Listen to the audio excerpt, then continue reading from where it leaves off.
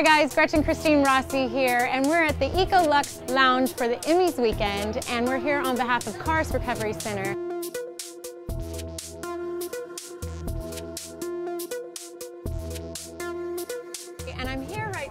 With French. Thank you so much for joining It's us. really good to be here. Thank you for having me.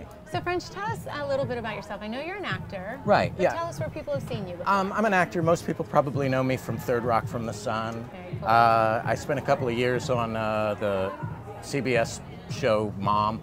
Yeah. Uh, I'm uh, recurring on the middle, and then I just sort of bounce around, and then I do some theater. Been here for 35 years. you know. It goes up, it goes down. Right? But, but that French stays the same. French stays the same, exactly. As we spoke about off camera, you know, this epidemic that's happening in our country today, um, and just how sad it is of how many people are overdosing and how many Yeah. people we're losing to, uh, you know, to opioids and heroin and all the things that are happening um, within the drug and alcohol community. Uh, tell me what your thoughts are about that. You know, it's heartbreaking because the story that I keep hearing more and more is that people get prescribed something because they, they hurt themselves. And, and it's somebody whose daughter was on the volleyball team and it's like an athlete, but then they get in that thing and then suddenly, you know, you, you, it moves up. I see these commercials and I feel like they're not uh, even selling the drug, they're Yeah. selling the sickness Yes. do you feel tired? Do you feel this? Do you feel that? Do you this, this, this, this? And and it's, it's almost pushing them to them. So I don't I don't know how it's any different from drug dealing from my point of view. But you know, You know that's a really interesting point that you bring up there because, you know, I was asking a few people earlier what they think that the pharmaceutical company's responsibility is in this, Yeah. you know? And and you're absolutely right. I mean, I literally saw a campaign where they are convincing people like don't, you know, punish the people that are really in pain and treat them like criminals that are, you know, they're out on the streets doing drugs. Give them what they need. And, you know, doctors prescribe this, prescribe this stuff.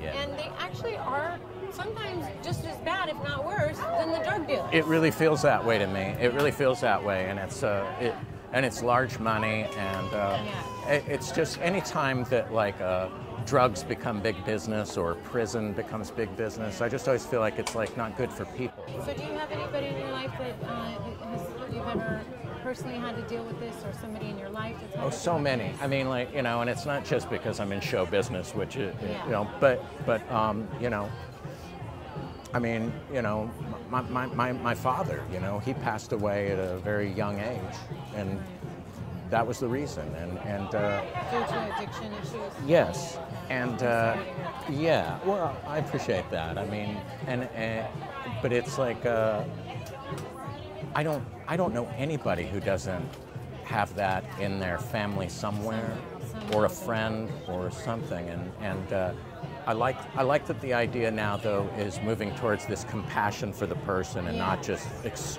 like assuming like you're a screw up Yes, exactly. and like you just party too hard. Exactly. I'm not saying that doesn't play a part, but Yeah. but this is this is something else. As you know, we're here on behalf of Carus Recovery Center, and um, they're a wonderful facility up here in Tarzana that just opened up in June.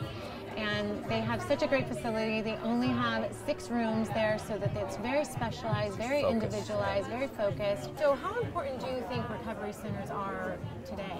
I think now more crucial than ever. More crucial than ever because it, it's uh, you know I think that people for so long just thought that addiction was uh, some manner of weakness and it's just it's not. But if you are struggling with stuff or you do have something going on, please go to carusrecovery.com and uh, take the first step. Thank you so much. It was a real pleasure talking to you.